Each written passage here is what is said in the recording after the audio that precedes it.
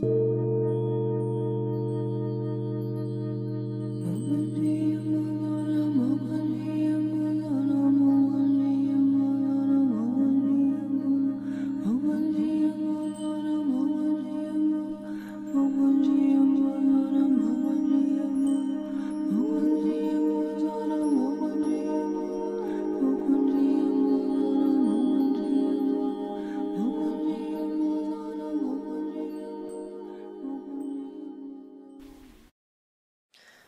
everyone, I'm really excited about today's video because I'm someone who's suffered from post-traumatic stress disorder for many, many years. This means that anxiety is something I've struggled with for a long time. And the thing about struggling with something for a long time is it has a way of forcing you to figure out what to do about it. Taking medications for anxiety is not the best option.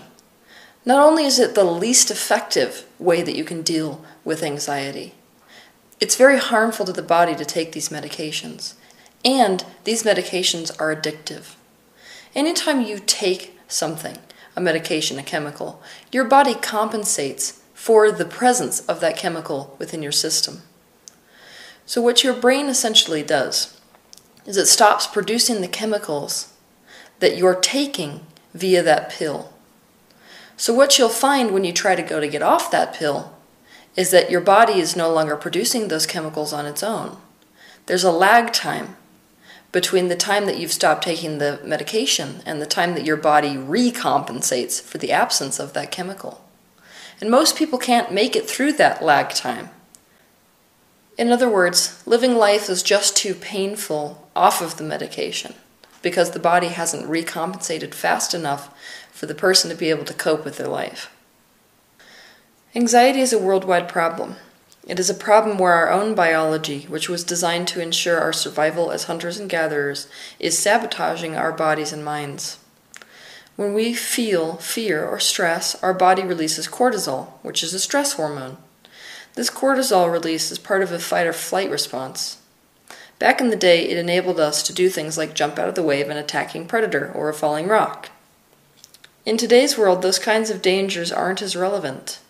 But even though they aren't relevant, we still have the same biological reaction to stress. Anytime we perceive danger, our body reacts the same way it would if our survival were at risk and our fight or flight response is triggered. The body releases cortisol when we get cut off on the highway. Our body releases cortisol when we think about being unable to pay the bills on time. Our body releases cortisol when we are approached by our boss. What's more, our body releases cortisol every time we think a fearful thought. Basically, instead of our modern lives being less stressful, they're an absolute minefield of stress inducing scenarios. This means that cortisol, the stress hormone, is wreaking havoc on us in our day to day lives. Elevated cortisol levels doesn't just affect the way we feel emotionally, it interferes with learning and memory, it lowers immune function and bone density, it causes an increase in weight gain, blood pressure, cholesterol, and heart disease. It can trigger other mental illnesses it increases the likelihood of depression, and it lowers our resiliency. Anyone who suffers with anxiety has a problem with one of our basic human needs, and that basic human need is certainty. What do we mean by certainty? We mean that feeling of internal security that we know that we can avoid pain and gain pleasure. Those of us who have anxiety don't know that this is true. That basic human need isn't met. Instead, we feel powerless to our own lives. We feel fear relative to our own lives. And that causes our body to trigger the fight or flight response. It causes us to release cortisol. And when that happens, we feel more anxious. So our body releases more cortisol. And that causes us to feel more anxious, which causes us to release more cortisol. And now we're caught in a snowball. We can't stop feeling anxious. Our anxiety snowballs into serious panic attacks because we don't have the ability to meet our own need of certainty. Normally, there would be an outlet for this rush of anxiety when the fight or flight response is triggered, such as running away from the perceived threat or screaming and crying, which burns up cortisol within the body. But in today's modern world, there is no obvious course of action for the anxiety we feel. There's no outlet for that energy. So we have to create one, or many. One of the best ways to do this is through exercise on a daily basis. Any aerobic or cardio activity will burn cortisol. It will create an outlet to release the pent up energy that is associated with a fight or flight response. And 20 to 30 minutes is all you need to engage your body's natural ability to produce endorphins. Endorphins are a bit like naturally occurring opiates. They relax you and induce a feeling of well being. Eating foods that reduce anxiety is really important. There are foods that increase your anxiety, and there are foods that decrease your anxiety. It's important that you choose a diet that stabilizes your blood sugar. When your blood sugar drops and it's low, the portion of your brain that's in charge of the fight or flight response is triggered. So you're more likely to feel anxiety throughout your day. Avoid fried foods, caffeine, high glycemic carbohydrates, sugar, and alcoholic beverages. Some foods to include in your diet that have been shown to reduce anxiety for various reasons are seaweed, also called nori, kimchi, whole grains such as brown rice, farro, and quinoa, blueberries, dark chocolate, maca root, vitamin B12 and vitamin B6, omega 3 fatty acids like flaxseed oil, chamomile tea, oolong tea, and oat straw tea nuts, pumpkin seeds, and edamame. Any kind of meditation, visualization, or relaxation technique, such as yoga, qigong, or tai chi, will lower cortisol levels in the body. So sign up for those classes. Form close knit human bonds. It's been shown over and over again that when we form connections with other people, we are reducing cortisol within the body. Our parasympathetic nervous system is sedated when we are in close physical contact with other people, when we feel a sense of connection with them. Develop these connections. Humans are a social species. Isolation will increase your anxiety. Seek opportunities to laugh. When you're laughing, your body can't perceive that it is in danger because you're sending it the message that it's safe. So watch that stand up comedian. Watch those YouTube shows that make you laugh. Seek any kind of fun that you can find. This will significantly reduce your levels of anxiety. It's also really important to get enough sleep. Let yourself get eight hours a night at least. Sleep is designed to reduce stress levels. When you fall asleep, you are realigning with your non physical perspective. You're releasing all of the resistance that you carry with you on a daily basis. You're coming into alignment, into a state of allowing, which is the opposite of anxiety. Allow yourself the opportunity to release your resistance in this way. Sleep is essential for those people who suffer from anxiety. Your fight or flight response is triggered when you don't get enough sleep, in the same way that it's triggered by low blood sugar. So it's really important that you let yourself get at least eight hours a night. Sleep is the opportunity for you to come into alignment, to release all of the resistance that you've built up in your day to day life. Take advantage of that opportunity. Release your emotion. One of the best ways to do this is to talk to someone about it. Or if you don't want to do that, to release your emotion by writing or typing it out. I don't want you to judge what's coming up. Whenever you feel anxiety, just sit down with that paper in front of the computer and start typing anything that comes out. All of your worry and stressful thoughts.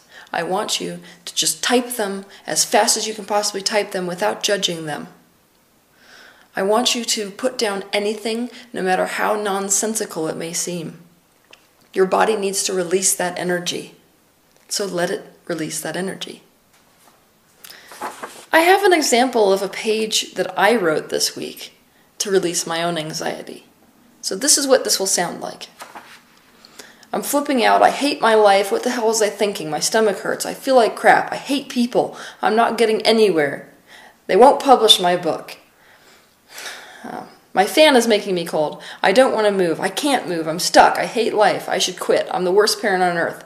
I'm not hungry. I hate that everyone expects me to make breakfast. God damn it. I have a session today. I don't want to do it. What the hell am I going to say to them? Kill yourself now because it doesn't get better? Fuck my life. I hate it here. I want to die. I'm too fucked up to do anything good. I want to remind most of you that there will be a lot of swearing in this exercise. This expression process is not the time to be politically correct or polite. I want you to get out anything that you emotionally feel and are struggling with. Listen to music. Deliberately create playlists for yourself that reduce your anxiety. For me, dinner jazz works wonders, as does any music that allows me to bleed emotion. Certain musicians, for me it's Thomas Newman, have the ability to create tones that make you feel like the emotion that is trapped in you is being leached out. Motivating music works well too because it inspires you towards seeking an outlet for your stress. You want to avoid any music that stimulates your nervous system, makes you feel stress, or provokes negative emotion. Breathing exercises works for anxiety. That is taking a long deep breath in and a long deep breath out, breathing deep into your belly instead of staying up here in shallow breathing where you're just pulling energy into your lungs. Breathing techniques have been shown to reduce cortisol again and again. My anxiety was so bad throughout my life that breathing exercises was a little bit like chipping at a glacier with a spoon. So I prefer to use breathing exercises in conjunction with other exercises instead of purely on its own. But try these breathing exercises. You can find them all over the internet and see how they work for you. The bottom line, if you suffer from anxiety, is that you have to allow yourself to do what is necessary to make yourself feel good throughout the day. You've got to be deliberate about how you wake up. You've got to be deliberate about how you go to sleep and how you structure your life in between. And this kind of self care has got to be okay for you. If you suffer from anxiety, you have a highly sensitive system that doesn't mean that something's wrong with you. Potentially, it means that something's right with you and everyone else just shut down. Take the time to structure your life to give yourself this TLC. You need to really commit to self care if you suffer from anxiety. I was one of these people who woke up with such bad anxiety attacks that after an hour or two of struggling with them in the morning, I'd end up suicidal or self injuring. But I have actually found a routine that works for me perfectly. But I will tell you that even to this day, if I don't do this routine, I still wake up with anxiety attacks. I'm going to share this routine with you today. Keep in mind that the routine that works for you may be different than the one that works for me. The goal, if you suffer from anxiety, is to collect all kinds of tools and all kinds of processes that you can apply throughout your day that work specifically for you to set up your own individual unique routine. But here's mine. Number one, when I first wake up, before I even open my eyes, I take eight deep breaths where I'm holding my breath for the count of eight at the top. So it looks like this.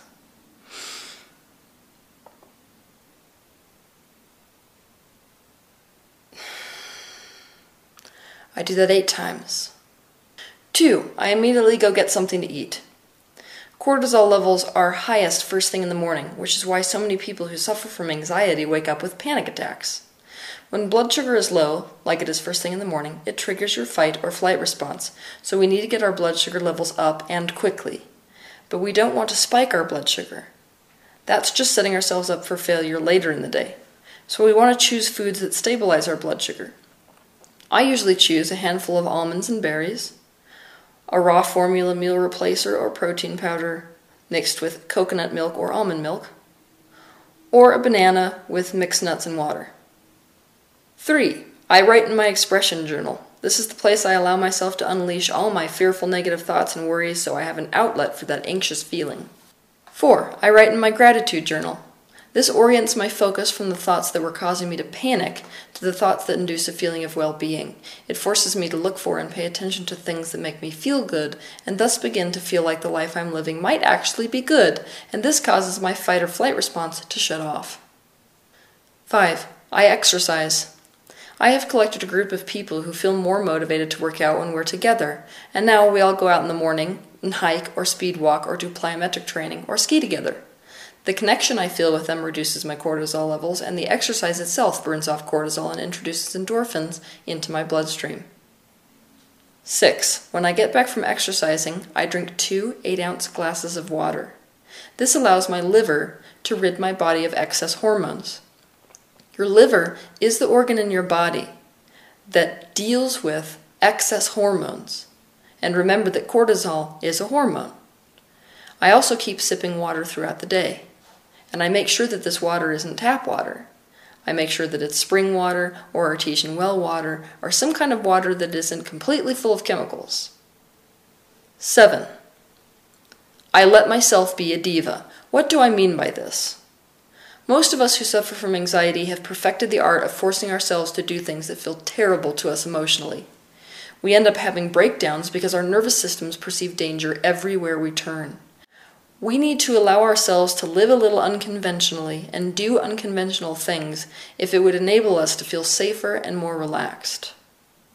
For example, I get extreme anxiety when I am going anywhere by myself. The traditional model of dealing with fear says that you should force yourself to be alone so that your body will desensitize to it. This forcing your body to desensitize is forcing your body to dissociate, so it's not actually solving any major problem. What it's doing is causing you to shut off to your emotional guidance system. It's pretty much the dumbest thing you can do.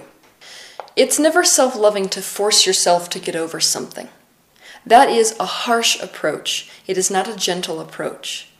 And if you take a harsh approach to something that's feeling anxious, what you're doing is you're adding punishment on top of fear. Sounds like a good idea to me. More often than not, all a rough approach does when it comes to fear is cause us to have mental breakdowns. So, I allow myself to take people who I associate with safety and home with me when I go places. Remember that if anyone else thinks you should or shouldn't live in a specific way, it is projection. They are imposing their perspective on your life and asking you to validate their perspective. This is not your job. Your job is to find out what feels most empowering and joyful to you personally, and then allow yourselves to do those things.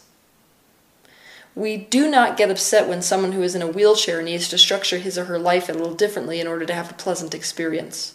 We should not get upset with ourselves if our tendency towards anxiety causes us to have to structure our life a little differently in order to have a pleasant experience. If we are all living in alignment, we would all be structuring our lives a little differently according to our own desires and needs. If you suffer from anxiety, it is extremely important that you practice the art of self loving. This is how it works. If you're a person like me who has an issue with anxiety when you are alone, in the beginning it's not very loving to yourself to force yourself to go somewhere alone. But eventually you might find that something happens. It no longer feels empowering, it no longer feels self loving and good for you to be stuck in a situation where you can't go places alone. And that's the time that you can start venturing out and practicing being alone, practicing taking trips alone. And only at that point will that action be self loving. Only at that point will it be in alignment with your empowerment instead of fuel your anxiety. So you need to be very honest with yourself about where you currently are. And you need only take steps towards self love. That means the only time you should ever try to solve anything relative to the anxiety you suffer is if it feels self loving and empowering to do it. 8. I make sure that before I go to bed, I'm in a good vibrational space. That means I watch funny movies. I watch proposal videos on YouTube. I play board games. I cuddle with my communal family members. I do anything that puts me in a good mood so that my focus is not on worry. This is a good time to write in your gratitude journal. Sometimes, right before I go to bed, I sit down and I write an entire list of things that I feel grateful for throughout the day. We dream in accordance with what we think about during our day to day lives, especially what we think about right before we go to bed.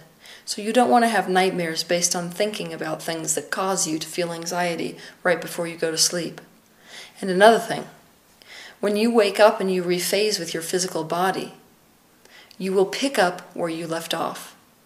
Meaning that if you've been thinking about things that cause you to feel anxious, you will pick up in an anxious state of mind.